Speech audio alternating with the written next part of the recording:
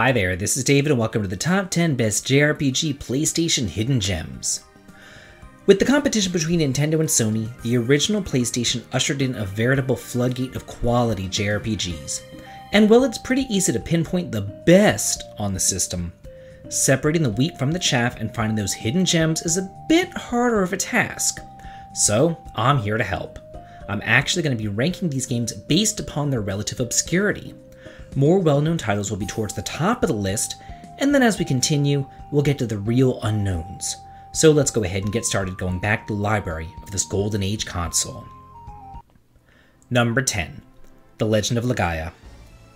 How this game didn't spawn its own franchise, I will never know. Well, it did get a sequel on the PlayStation 2, but unfortunately, that is a complete dumpster fire. This unique RPG combines aspects of fighting games with turn based RPG mechanics. Your heroes are able to input special moves or arts, just as you would perform a special move in Street Fighter or Mortal Kombat. The magic system is unique too. Over the course of the game, you'll encounter Seru, who you can absorb to learn up their magic. But I think that the best part of the game is the humor and the atmosphere. Mist is engulfing the world, and people live in constant fear of it so the people live in walled cities or towers raised up above the mist. And then it's up to you to revive the Genesis trees and free the land of that mist. Number 9. The Lunar Duology.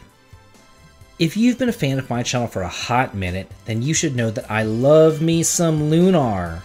Way back in the day, I chose the first one as the best RPG on the PlayStation, and then whenever I made a part 2 of that list, I highlighted Eternal Blue as well.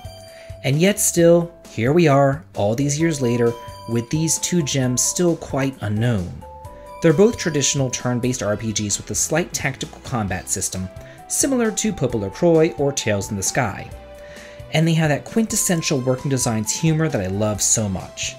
Each of them take place in the world of Lunar, which is pretty much just our moon, and the bones of each game are the same, with each having a whimsical world, memorable characters, and classic 2D graphics, along with plenty of animated cutscenes.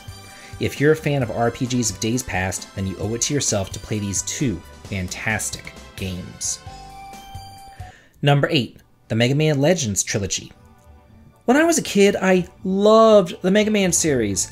I had 1 through 6 on the NES, and I even remember getting Mega Man 5 for my 11th birthday. I opened it up before school, and I brought the instruction manual to read with me during some downtime in 6th grade. However, I kind of fell out of love with the series during the SNES era and its transition to the X style of games. However, if the Legend games were around during that time, I would have been in love.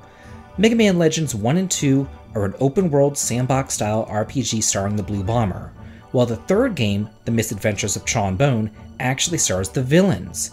The entire series is hysterical and really ahead of its time. They're all massively expensive now, though, but they are absolute gems if you can get your hands on them. Number 7 Valkyrie Profile. This is Tri-Ace's lesser known JRPG series, Living in Star Ocean's Shadow, but that doesn't mean that it's not good, because it is beautifully fantastic, but just very different from other games.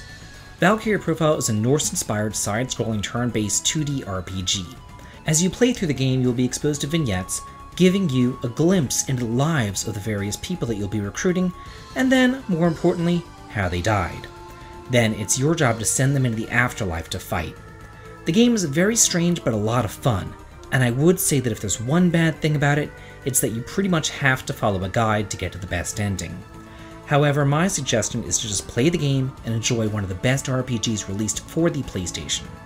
Also, be aware that it has been remade for the PSP too, so it might be a bit easier on your wallet if you get it there. Number 6 Vandal Hearts. This was one of the first games that I ever bought for the PlayStation. I mean, look at it. You can certainly tell that it's an early generation game. And coming off the heels from Nintendo, this was definitely something different. Nintendo wouldn't even let Mortal Kombat have blood on the SNES, let alone ridiculous geysers of it gushing out of the dumb bitches when you sliced them in two. I remember giving it a cursory glance at first and then thinking that it was just some ugly trash, but after playing and loving Final Fantasy Tactics, I gave it a second chance. It was then that I was really able to appreciate it for what it was a short, esoteric, and most importantly, super fun strategy RPG with varied objectives, tons of different classes to experiment with, and an interesting storyline. Number 5 Thousand Arms.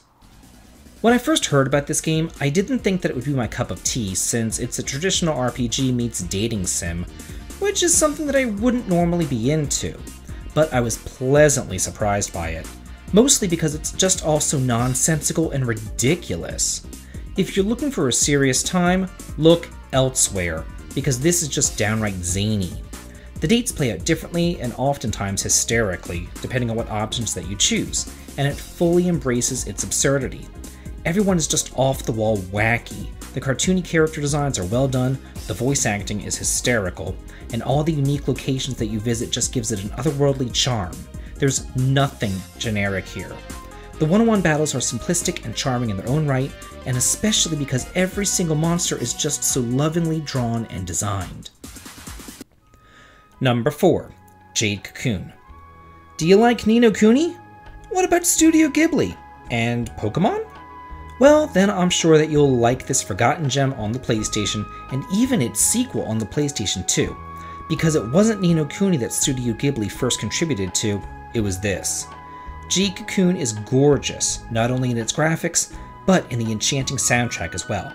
You take on the role of a Pokemon or Cocoon Master out to explore the mysteries of the world. However, rather than being a child, you're a married adult, which is a nice twist, and speaking of twists, just play the game for a bit because there is a massive plot twist around the midway point where the shit really hits the fan. It won't take you too long to do so though, since the entire game is only about 15 hours long. Number 3 Guardians Crusade. I love this game. Sometimes short, sweet, and to the point is all you really need in an RPG. You don't need flashy CGIs or ridiculous hair physics. All you need is a fun game and this simple gem delivers that in spades. You know how Earthbound had those great maps with the towns and the battles on the outskirts? Well, it's the same here with seamless transitions. Even whenever you go from a town to the world map, it's all in the same scale and it's open world. Combat itself can be basic since you only have control of the knight and the baby, but there's added mechanics, like how the baby can transform into monsters and breathe the fire up the enemy's asses, kinda similar to Blue Magic and also the living toys scattered throughout the world, and they each have their own attacks too. This one is adorably simple, and in its simplicity lies its charm. Number 2 Vanguard Bandits. I am aware of the RPG purists out there who whine every single time that I bring up my love for working designs, but without them, we wouldn't have so many different oddball RPGs like this one. And quite honestly, sometimes RPG translations can be a bit dry so I actually like it when they spruce it up and add their own flair. Unlike their other strategy RPGs such as Summonite and Arc the Lad, Vanguard Bandits employs turn-based mech battles similar to the Front Mission series. The story is filled with twists and turns, as well as choices that actually matter, as they'll impact what missions you have to accomplish, as well as which ending you receive. And there are five different endings, so there's plenty of replay value here. And number one, Saiyuki Journey West. I remember whenever this game came out in 2001. I was working at Publix and a fellow coworker told me about it because he knew that I liked Final Fantasy Tactics. And he was not wrong, because this is a gem. Saiyuki is based off the 16th century Chinese novel Journey to the West, where Sanzo, a Buddhist monk, travels from China to India meeting mythological characters along the way such as Goku and Ashura. The religious themes of the plot are pretty heavy handed, with Buddhism being heavily praised, while Hinduism, not so much. I mean, the Hindu gods are the main antagonists, and the party's goal is to rescue Buddha himself. I can't imagine this ever being released on Nintendo, but Sony really didn't give a shit. If you're looking for an obscure, highly challenging strategy RPG with a riveting story and delightful characters, look no further than this. Well, that's it for the best hidden gems on the original PlayStation. If you like this video and wanted to hear on the channel, please consider supporting me on Patreon for exclusive videos and early access to my content, or coming on over to my Discord to chat and hang out. The links to them can be found both in the video description. This has been David. If you like this, please like, comment, and subscribe, and have a good day.